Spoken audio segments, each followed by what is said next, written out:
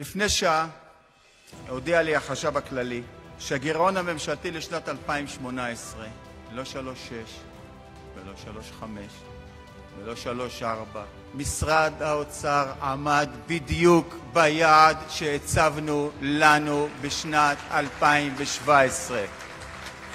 בדיוק ביעד. ולאורך כל התקופה האשימו אותנו במדיניות לא אחראית. עבורם מי שלא מעלה מיסים הוא לא אחראי. עבורם מי שנותן כסף לנכים הוא לא אחראי. עבורם מי שקולט עובד קבלן הוא לא אחראי. אנחנו אחראים, אנחנו הצמחנו את המשק, לא סטינו באגורה.